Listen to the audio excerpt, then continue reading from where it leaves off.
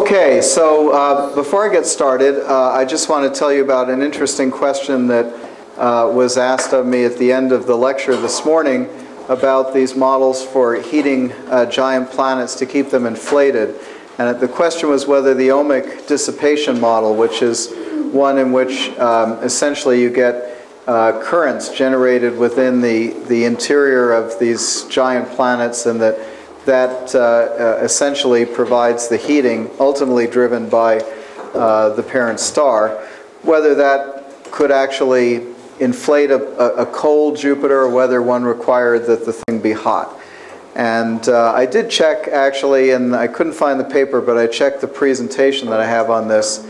And um, you have to start with a hot Jupiter. Uh, it has to be inflated. So an interesting potential observation for these hot Jupiters uh, and the mechanisms that keep them inflated uh, would be anything that would show that they started out cold or that they moved in, uh, they migrated in rather late in um, the history of their, their particular planetary system. Because to start out with a body that's uh, inflated and, and hot, you have to move it in, you have to migrate it in quite early in its history. Uh, and so uh, we're talking about you know the first few million years. So that's an interesting constraint. Um, okay, so when your beautiful strategy is about to be demolished, always wear a tie. Uh, and um, in this case, we talked about uh, the strategy from uh, the Exoplanet Task Force this morning, which was essentially um, to do some key things prior to uh, even thinking about launching uh, a large, expensive device to uh, take spectra of Earth-sized planets around Sun-like stars that might be 10 parsecs away, for example. Uh, that, of course, was technology development, determine the frequency of Earth-sized planets in or near the habitable zone, and also to get the addresses and masses of candidates that you want to make spectra of. And that last step is the most expensive. It requires a space-based astrometry mission that could uh, look at the nearest 60 to 100 stars in the solar neighborhood, uh, search for Earth-sized planets. That requires sub-micro arc second uh, accuracy, 0.1 microarc second accuracy, and that's many orders of magnitude better than the Gaia mission that's being readied. Um, and, um, you know, it, in and of itself, it's a significant mission, but it's one that, that NASA has invested a lot of money in, uh, in terms of technology studies, and was called Space Interferometry Mission. And of course, as I argued this morning, getting the mass of a planet is really getting a fundamental parameter.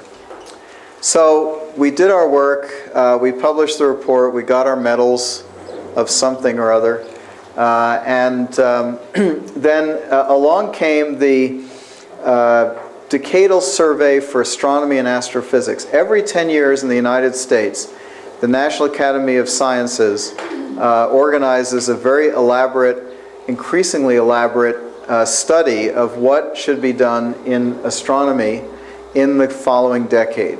And these reports, of which I think this is the fifth, have become very influential. They're regarded quite highly and uh, they have a lot of influence. So the bottom line is if you have a big mission and your mission is not in the decadal survey for that decade, uh, you should probably take a break for about a decade. Um, now this is not planetary exploration. Planetary exploration got started late and there is actually now a decadal survey for solar system exploration. In fact, the second one of those has just been released. But this is the Astronomy and Astrophysics Decadal Survey. It's a beautifully bound book. Don't buy it. You can download the contents for free from the website. Um, but um, to make a long story short, and I'll full disclosure, say that I was on the committee. Uh, I did feel a little bit lonely. Um, but uh, the committee did not endorse space interferometry mission. Uh, in fact, it wasn't even close, although I'm not supposed to say that. Um, so space interferometry mission was gone and is gone. And uh, even in Europe, there was a, a mission uh, slightly less ambitious called NEAT, N-E-A-T, and I can't remember the acronym for that, which was proposed uh, as an M-class candidate mission in the last go-around. And uh, even that was not selected in favor of a mission that will make transit observations. So evidently, the, the notion of launching something to get masses uh, without taking pictures doesn't have a lot of cachet. And that's just the way it is. So where does that actually leave us? Well, it leaves us, if you rebuild the strategy, pretty much with something like this. And here's my son calling, but I can't actually take the call. Um, okay. Um, say lovey. All right, I'll talk to him later. So the wonders of having everything on the one laptop, right? You wonder what other things are going to pop up shortly. Uh, so here's the strategy. And uh, the M-dwarf part of the strategy is not affected. It's affected by something else, which I'll talk about in a few minutes, and that is the delays to JWST. But uh, one can still, and, and, I should say now that here I'm, I'm freewheeling. We have not reconvened the exoplanet task force. Uh, I've talked to some individual members here and there where I needed some help on radial velocity and other things, but our, our committee's disbanded. So this is my own personal addendum. Uh, but anyway, uh, yeah, we need to continue uh, uh, absorbing the implications of the results of Corot and Kepler, the transit missions. Uh, we need to continue absorbing the results of radial velocity and whatever ground-based microlensing discoveries are made. technology development needs to continue, and, and we need to find some way to organize a survey of nearby stars for uh, determining the distribution of dust emission from those systems. Something which is, is not easy to do, but it's feasible. And it's a ground-based program. It's not a particularly high-profile program. It's a little bit difficult to get money to use very large telescopes, uh, particularly the Large Binocular Telescope, uh, the LBT, would be optimized to this it's hard to get money to use these telescopes to look at dust, especially when that dust is um, the noise and not the signal. Uh, but that needs to be done. But in the six to 10 year time frame now, things are very different. And again, this is the case where eta sub Earth might turn out to be greater than 0.1 and the exozodis turn out to be fairly reasonable so that the end state is a space-based direct imaging mission. But in the middle, uh, we still really need masses. And I think the other uh, point that uh, I will get to a little bit later is that even with Corot and Kepler, we may not really get an accurate determination of eta sub Earth within the habitable zone. Um, he'll just have to keep calling, I guess. There we go. Sorry, ma'am. Um, the next time he calls, I'll answer it and tell him I'm lecturing. How's that? Okay. So we need to uh, get these masses, and we need to have um, a good understanding of the abundance of planets, uh, Earth-sized planets, in the 1 to 10 astronomical unit region. Now, I'll talk about high precision RV in a moment. This is just a name.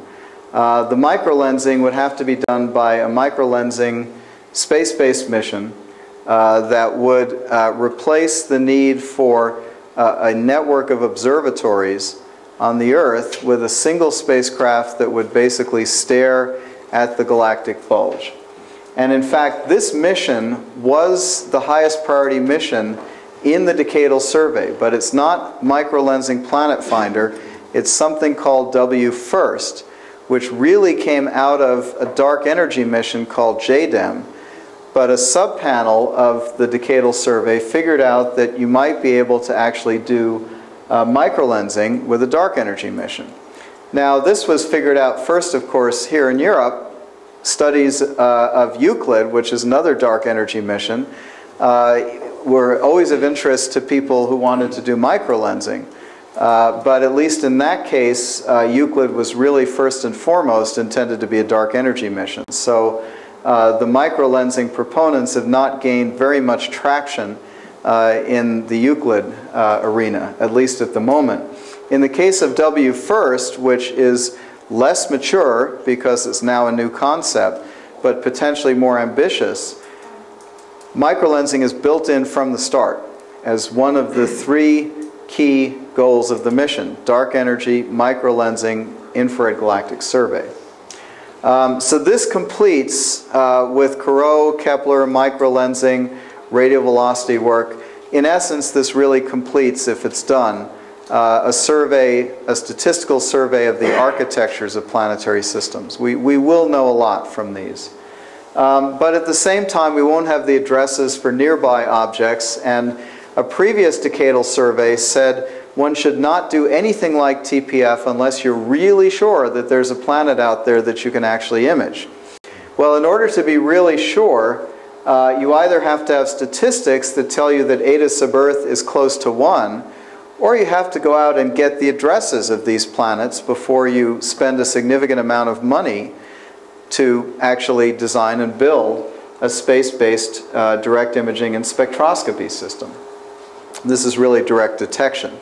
So this is Terrestrial Planet Finder, uh, or Darwin, uh, which is the more ambitious European version. But more likely, because of the realities of the budget, this is in fact the Terrestrial Planet C, or coronagraphic mission, that Jim Kasting talked about in his lecture this morning. And what that means is that it's a, a four meter telescope. Oh, okay. A four meter telescope um, with a coronagraph which would be able to um, make low resolution spectra of Earth sized planets around stars that are within 10 parsecs of the Earth. Um, and in order to use that system, you really have to know that you're going to have enough targets. So that brings us to high precision radial velocity. Um, now, being a theorist, I can simply take the chart that uh, I think what I'm going to do is I'm finally just going to yield and I'm going to close my browser, uh, my um, internet here. So let's see, here we go. Network, there we go. Turn airport off. Okay, very good. So there's just way too much activity here. Okay. That's good. Goodbye. All right. So, as a theorist, what I can simply do to invent high precision radial velocity is I can take the line that you recall this morning on this chart of planet mass sensitivity versus orbit period in years. Uh, here the here's the astrometry SIM Lite mission uh, the sensitivity for the farthest star in the sample they selected, the closest star, and the median star. And you see where the Earth is and where Venus is. And again, ignore the green dots in the background. That's just one theoretical model. So here's radial velocity for about a meter per second sensitivity. And in order to invent high precision radial velocity, I simply move this uh, line appropriate to an accuracy of a tenth of a meter per second, which for a G-type star just barely nicks the Earth and Venus, um, but not quite. You really need six centimeters per second. Uh, but if you decide that you can tolerate a K dwarf rather than a G dwarf, you're okay. But how do you do this? Uh, this is the issue. And um, I talked to quite a few experts in radial velocity, and the general consensus is, and please, if this is wrong, everybody stand up and scream right now. The general consensus is that 10 centimeters per second is instrumentally achievable, but there may be only a small number of G dwarfs, if any, sufficiently quiet to take advantage of this capability. Basically, there's a spectrometer, at least one, being built now, Espresso, that can do this. But the issue is that stars themselves have noise in the form of surface motions that can both broaden stellar lines and mimic the radial velocity signatures from small planets. And so the challenge is to be able to deal with that noise. Now, depending on which articles you read in the literature, I actually I also read, uh, I didn't do the Republican approach of just asking people, I actually read some articles too. Depending upon the um, who you, you know, which article you read, um, the, the noise is either um, something that cannot be surmounted even at the level of a meter per second, or it's something that can be surmounted at a level of 10 centimeters per second. And basically, you have to understand really well um, the, uh, the periodicities, the cadences of these noise sources. Uh, you have to plan observations that have long enough time baselines that you can basically remove the shorter term uh, variations and be able to deal with any long-term variations that might mimic a planet. In short, it's difficult, but it's doable, but it's going to require resources. And it's going to require routinely doing radial velocity studies on, on 8 meter telescopes or larger. So um, this really, if, if the strategy that the task force put together has any merit at all, personally I think it does, um, there's going to have to be some investment in this type of activity to replace uh, the space-based astrometry that probably is not going to happen. So anyway, that's the second hat I'm passing around the room after passing around the hat for Titan yesterday. okay, so what is eta sub Earth in the habitable zone? Well, we don't know what that is, but one can begin to get values for eta sub Earth inward of the habitable zone. And this is the preprint that came out a couple of months ago or a month ago by uh, uh, Bill Borucki and colleagues reporting on this large release of Kepler planetary candidates.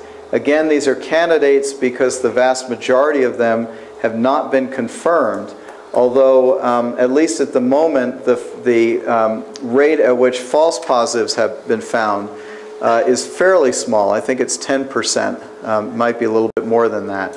So these statistics probably will, will remain okay, although obviously for the smallest sized objects, one's likely to get the highest number of false positives. So what this is, is the number of planetary candidates that they have in their sample. Remember, these are uh, transiting planets, Kepler stares with a very large format camera at a big chunk of the Cygnus spiral arm of our galaxy and stares at 150,000 stars. And as those stars vary in brightness, that's flagged, and one looks to see if these are repeated, that is, if they're periodic, and have the, the appearance of a transit, essentially. And there's a lot of filtering and other things that go on uh, to lead to um, something being identified as a candidate. So uh, anyway, in, in Bill's paper, uh, this is, um, the planets have been binned into Jupiter size, Neptune size, super Earth size and Earth size. And if you take 100, this is a back of the, back of the envelope calculation, you take 150,000 stars and you assume that 1% are going to have uh, transiting planets just on the basis of random orientations uh, of the orbit planes of the systems uh, relative to the Earth. So that gets you down uh, from 150,000 to 1,500.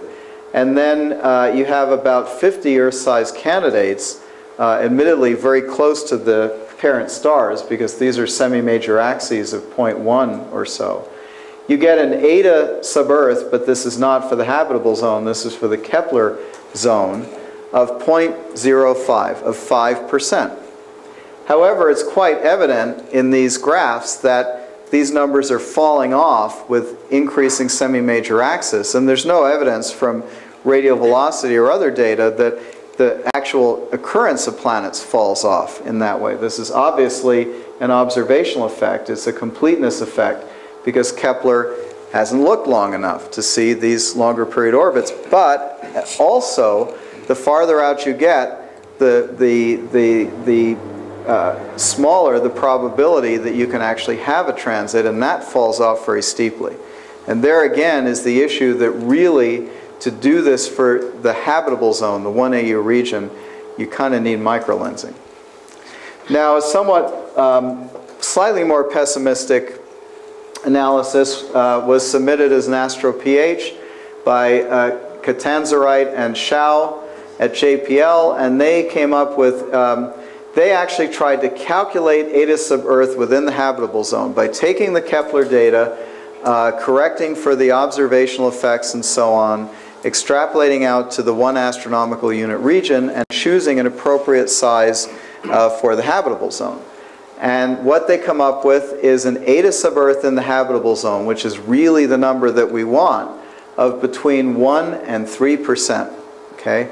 Now, I call this the nightmare scenario because if eta sub Earth were 10 to the minus 4, you could, I mean, it would be easy to say, let's just forget about terrestrial planet finder, forget about even Darwin. Uh, it's very unlikely there's going to be anything within the solar neighborhood to look at. Let's just go spend our lives studying Jupiter and Neptune-sized bodies and, and enjoy ourselves. Um, if Eta sub Earth were a tenth, we'd say this is great, go for it. They're going to be candidates. They're going to be nearby stars that will have Earths in the habitable zone.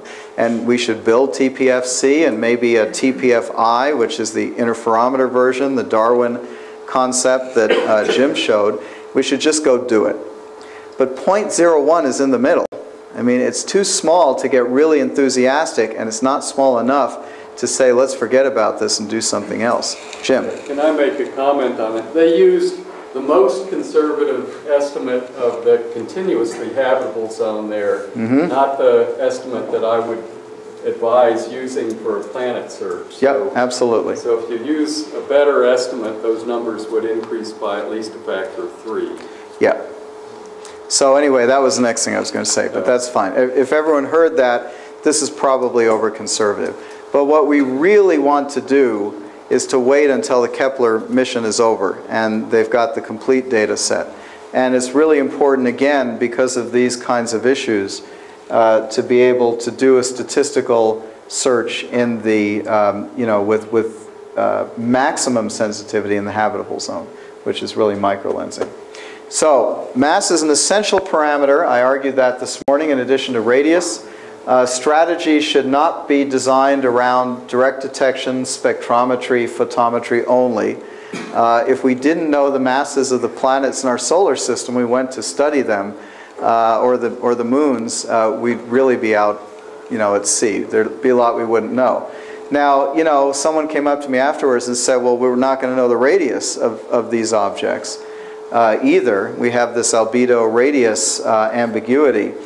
And you know, one game that you could perhaps play is if you do get the masses for these objects, uh, you could, uh, if you've got good mass radius relationships, particularly for things that are close to the mass of the Earth, use that to determine the radius, and then from the radius get the albedo. And then once you've taken a spectrum of this object with TPF, see if that spectrum uh, and the, the compounds that are present are consistent with that albedo. So there is a kind of a consistency uh, feedback loop that you could do with the masses even if you can't immediately resolve the albedo radius ambiguity. Um, radial velocity may be the primary technique for finding uh, masses of Earth-like bodies in nearby systems. Uh, obviously, the, uh, we're talking now about 10 centimeters per second or below. One thing that I am worried about is that because the number of systems will be small, the kind of statistical arguments that are used to say that there's a good chance that m sine i and m will be within a factor of two of each other really can't be used. We're probably going to be talking about a handful of objects. And if you have only a handful of objects, you really are not going to know until you launch TPF, I suppose, and track the orbit that way, whether the system's face on or edge on or partway in between. So um, this is something that's somewhat of concern. Uh, and again, it's unclear right now whether Earth mass bodies are sufficiently common for the less ambitious terrestrial planet finder, the coronagraphic telescope, to apply. Uh, probably will need space-based microlensing to sort this out. And right now, I have to say that um, being involved somewhat on the US side of this, um, the, the, the dialogue between NASA and ESA on the subject of collaborating eh, between Euclid and WFIRST is not going terribly well. Um, most of the reason for that is the uncertainty on the US side more than anything else. On the other hand, one of the reasons that we have such a huge uncertainty uh, is that James Webb Space Telescope is way over budget and is going to be launched very late, and that's a joint NASA-ESA mission. So I think with regard to those two agencies, they're really in it together. And it behooves both agencies to, to try to work something out that's going to make some sense and get us a mission uh, that is some combination of Euclid and uh, WFIRST that will do both the dark energy and the microlensing. And I have full confidence that will happen.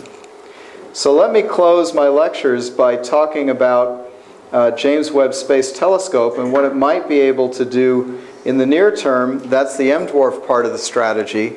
Um, and then I'll move from the, the realm um, uh, within the M-dwarf planetary systems where JWST is going to be relevant uh, to the 1AU region around M-dwarfs and finish with Titan-like objects. So uh, here's James Webb Space Telescope uh, in space uh, at the L2 point. There's the moon, there's the Earth, there's the sun. Uh, here is a model of it on uh, the lawn at Goddard. Uh, these people are actual size, they're not midgets. And so you can see that this is a very big telescope. Okay, the primary mirror is six and a half meters in diameter. It's a multiple mirror system. Uh, the, the mirror and the secondary here are fixed to a backplane which contains uh, optics and cooling systems. The instruments are in the backplane uh, as well and down below it. And then underneath the sun shield is the spacecraft uh, and uh, all the maneuvering systems. The sun shield itself, which is about the size of a standard tennis court, uh, unfurls perfectly in space without malfunction to block the light of the sun and prevent the um, optical system uh, from uh, getting uh, infrared radiation from the sun uh, as well as stray light from the sun. So various parts of this telescope will be cooled uh, down to quite low temperatures, 20, 10 Kelvin, depending on, on, on the, the, the portions of the telescope system. It's very complicated thermally. It's complicated electronically, physically, in terms of deployment. Uh, it's just complicated. Okay. Um, it's a joint NASA, ESA, Canadian Space Agency mission. Uh, NASA has primary responsibility for the spacecraft and the telescope. Uh, ESA is building uh, one and a half uh, instruments and will launch the spacecraft. It's purchased uh, an Ariane uh, 5, 4, 5 for that purpose. Thank you.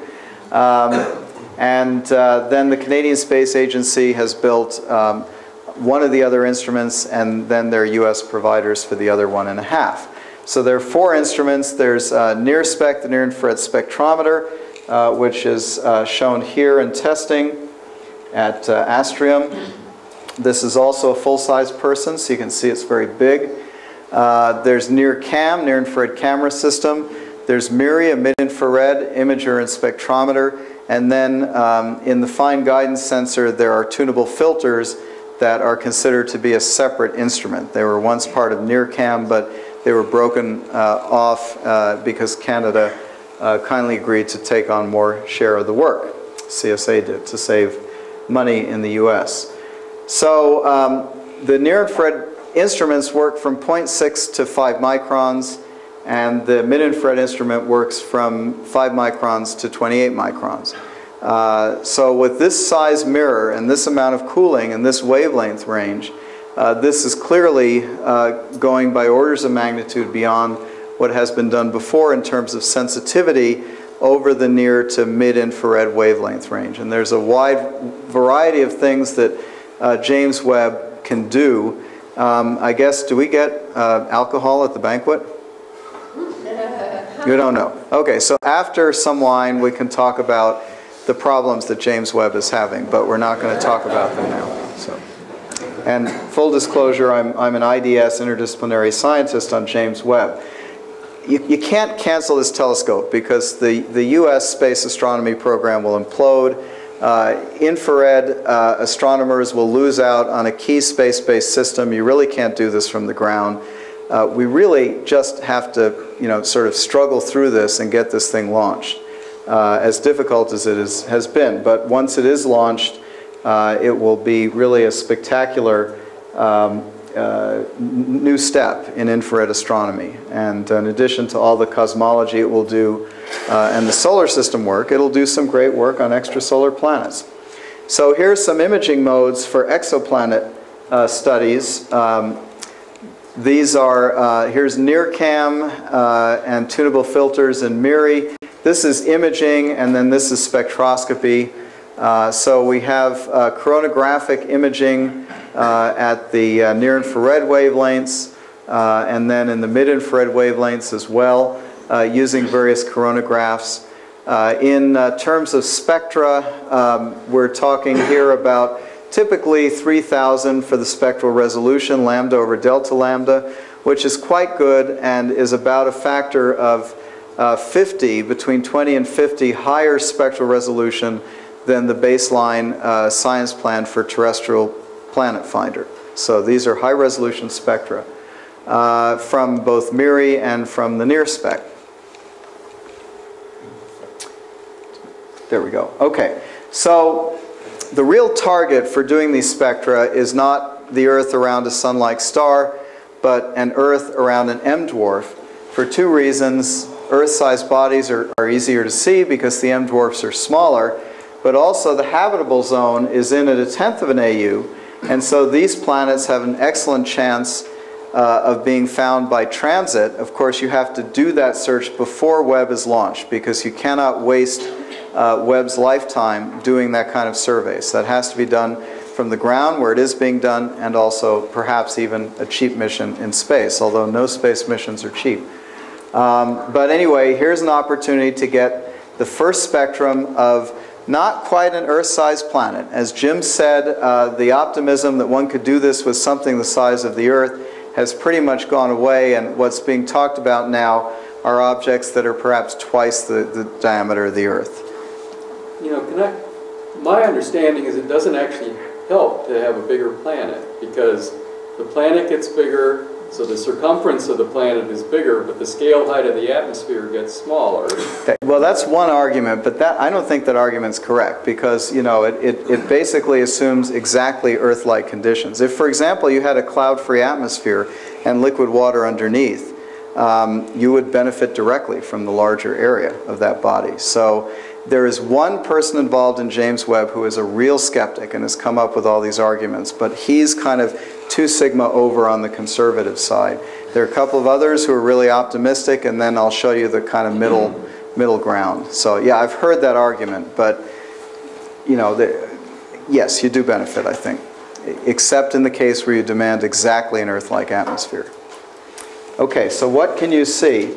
Um, First of all, remember that spectra can be taken both uh, during the primary transit or primary eclipse when the planet is passing in front of the star, and so you get a transmission spectrum, and the secondary eclipse when the planet is about to pass behind the star. This is much more difficult, but here what you're getting is a measurement first while the planet is just out in front of the star, displaced from the star, so that you're seeing the full phase of the lit disk of this planet. And then as it passes uh, behind the star, you get the spectrum just of the star itself. Uh, you subtract those two spectra, star plus planet, from star, and you get the planet spectrum. Uh, both of these have been done for giant planets from, from Hubble and large ground-based telescopes. Uh, and this, of course, is a reflection spectrum. Okay, so this is from the optimism, the, the, optimistic days, the Camelot days of this type of observation. This was Jeff Valenti and colleagues in 2007 showing a simulated JWST transit of an Earth-sized, ocean-covered world. This is ratio in and out of transit, so this was a secondary transit, versus wavelength, so this is for NIRSpec. Uh, this assumed observing over 10 transits, getting 28 hours of observing time around a, an M3 dwarf, so an early M dwarf, uh, with a period of 29 days. And um, the sort of low resolution version of this is, is the one to kind of pay attention to. Um, you see the bands of H2O, of CO2 as well, so you know that water was present in CO2. You would not be able to see methane, obviously, in this situation if it had the, the mixing ratio that it has on Earth. Um, the, now we're beyond the days of Camelot, so these, this is sort of more the reality. Um, these are simulated spectra by Drake Deming and colleagues uh, for spec, from 1.8 to 3 microns for two objects that are both super Earths at a radius, each one has a radius about twice the radius of the Earth. The upper panel is for a really hot object with a surface temperature of 500 Kelvin, a distance of 32 parsecs away. And because this thing is really bright, um, you get a really good signal and the water bands show up very, very nicely. Um, the spectral resolving power here is R equals 100. If you want R equals 3000, of course, it's not going to look quite as good. The bottom one is for an object that has a surface temperature of 300 Kelvin, uh, and uh, again is a super Earth, twice the radius of the Earth. Um, this is a 20 parsec distance. I can't remember why Drake had such odd numbers, but it's probably whatever he had in his simulations that he could dig out for this paper. Um, and you can, you can see that if you do enough binning, you can see the water bands, but it's a lot noisier. It's a lot noisier. Now, um, you know, this is, I regard this as state of the art, and I regard these as reasonable simulations. So it's a difficult observation, but you will get some information. Jim? I think just a secondary transit or, that you're talking. about. That's right. prim- Primary would be independent of the size of the planet, but secondary, Right. the size will help. you. Yes, the size will help you there, that's right. Yep. Okay. So, um, good point. Okay, now, you know, if you, uh, you could imagine all sorts of interesting things. If you could do both the primary and secondary transit, you might explore these eyeball Earth uh, simulations like what Ray Pierrehumbert did, where the near side, uh, which you see in the secondary transit, actually has a clear atmosphere and you see all the way to the surface. And, you know, maybe you'd see the, the liquid water ocean or maybe there would be just a 10 micron silicate feature there. And then the primary transit would be probing uh, these parts of the atmosphere in transmission where you had significant amounts of cloud uh, and uh, perhaps you would actually uh, be able to, to uh, look at the difference between these two and actually detect a difference between the primary and the secondary transit that might lead you to conclude that it's uh, some sort of eyeball Earth. Uh, I've shown the temperature profiles already. So if you don't like eyeball Earth, let's put a big X in front of them. Uh, and in fact, let's zap them with coronal mass ejections and, and stellar flares and, and tidal locking and, and high impact rates and all that sort of thing. But since we're in an M dwarf system, let's remind ourselves again that um, out at 1 AU from such an object, from such a cool star, uh, if there's an Earth-sized planet there, it's not going to have an effective temperature of 260 Kelvin. It'll have an effective temperature of 85 Kelvin. Uh, now, of course, this exact distance depends on the particular M dwarf we're talking about. But the general point is that the 1 AU planet in that system is going to most resemble, if it has methane, Titan. Um, now, specific distances, this is from a paper by um, Gilliam and McKay. I actually, I first wrote about this for um, a conference by the American Philosophical Society uh, in 2008, and uh, I sent Chris a copy of this paper, and uh, he sort of jumped on this and had a, a, student working with him, which is great. Uh, so this is distance from the star in AU versus the fraction of haze relative to the amount of haze that's in Titan today. And so this is the, um, the distance that an object would have to have to, to have the effective temperature of Titan given this haze. For two stars, one Gliese 581 and then a much cooler M, uh, M4 uh, dwarf star. So these are, these are both M dwarfs, but one is hotter than the other. So um, again, you know, we're talking about between a few tenths of an AU for the coolest case and uh, about an AU. Now, leaving aside the fact that the chance of an object at 1 AU transiting its parent star is exceedingly small, so you would have to be able to get observations a different way, what would you see in such an object? Well, obviously, it would be dominated by the methane bands. So this is um, a simulation of Titan's atmosphere by Ciletti et al. And she's a, a, a PhD student at, um, in, in Rome, and we're working to um, convert her Titan model into a Titan around a red dwarf model to try to look at how the spectra change. Uh, and uh, Simone Yeva is another student who's working with me on this too. So the spectrum to really concentrate on is the blue one, which is a VIMS spectrum of Titan. And in the 1 to 5 micron region, it's really dominated by methane. And so um, if you were to obtain a spectrum of an object like this, and actually for the coolest M dwarfs, because the appropriate orbital distance is 0.2 or 0.3 AU, you have some marginal chance of having one of these be a transiting object. Um, you would see a spectrum that's really dominated by methane, and, and it would tell you that this was a Titan-like object. There are going to be all sorts of interesting differences between um, our, our, Titan in our solar system and Titans around M dwarfs. I'll just point out a couple of these. Here's that temperature profile for Titan's atmosphere that I showed yesterday, pressure versus temperature in degrees Kelvin. And remember that Titan has this very dramatic stratospheric temperature rise due to absorption of solar radiation in the blue part of the spectrum. The temperature rises from 70 Kelvin at the tropopause to uh, over 170 Kelvin uh, at, uh, at and near the, the mesopause. And, you know, this is, these are very warm temperatures, so the proportional temperature rise on Titan is much larger than it is for the Earth, for the Earth's stratosphere. But if you put Titan around an, an M dwarf, there's not going to be much solar radiation in the blue. And so most of the radiation is going to be in the red, where these very tiny haze particles don't actually uh, absorb very well. Um, there will be UV, but there won't be as much UV as in the case of the sun. And the bottom line is you could have a Titan where there is no such stratosphere like this, where you have a relatively cold stratosphere, where photochemistry is sluggish, and that's going to reduce the amount of haze in this atmosphere dramatically. Plus, any object that you have a chance of even looking at is not going to be the physical size of our Titan, it's going to be the physical size of the Earth.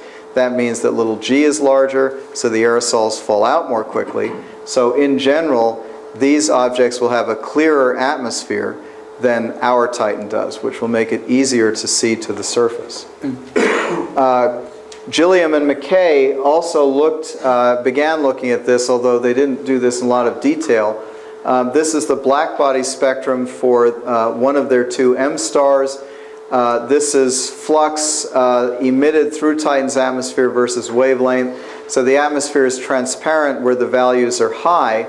And what you can see is that this M dwarf uh, has a peak in its black body function and its emitted radiation right where there is an enormous opacity in Titan's atmosphere uh, with a couple of windows, with one little window here and, and some wings on the side. So again, everything's going to be different in terms of how this object is absorbing solar radiation, what the haze is like, and so on. And one can you know, make interesting speculations as to how that's going to affect um, the surface conditions on this object. Also, the geothermal heating is going to be much larger on an Earth-sized Titan than it is on our Titan uh, because there's much more rock and the surface area to volume ratio is smaller. So there's going to be a more significant contribution from um, radiogenic heating, from geothermal heating. It's going to be a more volcanic place, although that still won't dominate. I've done that calculation. So um, this is the methane habitable zone. And maybe it's completely sterile. Maybe life cannot exist in liquid methane or ethane. But there's not a single person on the earth today who can tell you whether a form of organized chemistry can or can't exist in liquid methane. So sitting at, at 1 AU or a few tenths of an AU, this region uh, is more uh, resilient against flares and tidal locking than the 0.1 or 0.05 AU region than an Earth condition object, a, a water hydrosphere would, would require. Um, and therefore, uh, because M dwarfs are the most common main sequence star in the universe, if we um, consider the possibility that an Earth at a tenth of an AU or 0.05 AU around an M dwarf uh, might have a hard time retaining a stable, a stable hydrosphere, um, it's possible that methane hydrospheres, methane hydrologic cycles, uh, may in fact be vastly more common than water hydrologic cycles in the cosmos. I don't know the answer to that, but I think it's important to recognize that the M dwarf situation is 100 times more common than the Sun situation, the G dwarf situation, simply because of the difference in abundance of M dwarfs versus G dwarfs. M dwarfs are the most common main sequence star in the cosmos and the longest lived stars. um, M dwarfs stay on the main sequence for longer than the age of the universe. So even though this won't help us in searching for life on Titan today, we could imagine that um, you know, life could take as long as it wants to try to develop in a methane-ethane medium. But again, an observable Titan would need to be the size of the Earth. Um, so, I'm not endorsing a shift in the program of searching for habitable extrasolar planets away from Earth to Titan. You know, we need to be able to focus on things we understand, but we also need to think about ways that we might be able to investigate planets that are simply different from what we think of as the habitable worlds that we want to look for around other stars. Um, there's a tendency as scientists, uh, with a few exceptions, to think in the box instead of out of the box. And we really need to think out of the box in terms of the range of possible planets that might exist around other stars and what habitability really means in a, in a fundamental sense. Uh, and that brings me back to where I started, which was the basic point that um, if you have free energy, uh, if you have a system uh, where it, you're receiving energy that's well away from equilibrium, and it's a complex organic system which also has the right inorganic components to make it work, uh, why can't you have complex organic chemistry? Um, the only way to find out is to explore. So, no matter which kind of habitable zone you prefer, um, I wish all of you a fruitful search for one. Thank you.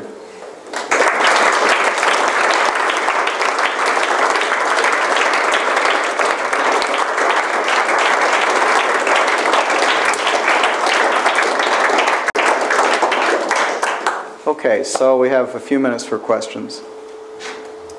Good, everyone's stunned. We can go get a drink. Yeah. With respect to your last case, um, would that then still be uh, trying to actually um, looking for an object like Titan around an M in transit?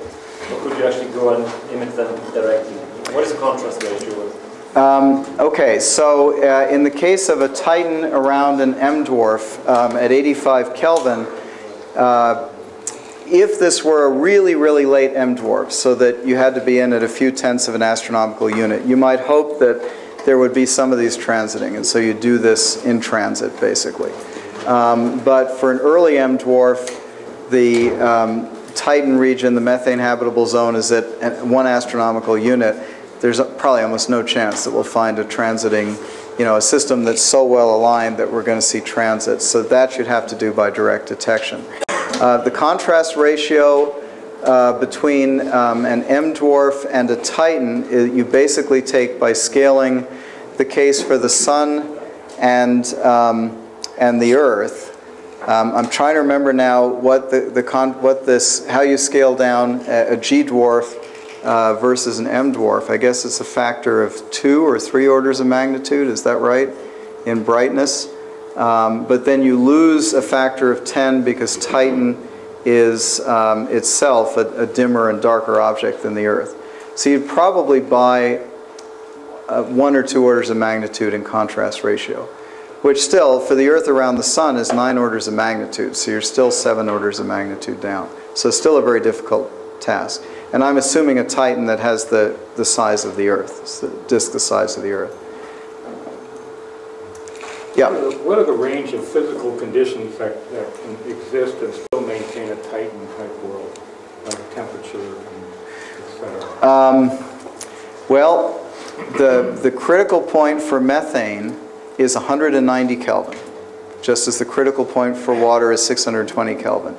So if you get a situation, okay, now let's imagine again not our Titan, which is so small that if you start heating things up, the loss rates are going to go way up. If you just think of an Earth-sized Titan, you just basically um, want to have conditions that allow you to have methane at the surface below 190 Kelvin, uh, which is the critical point.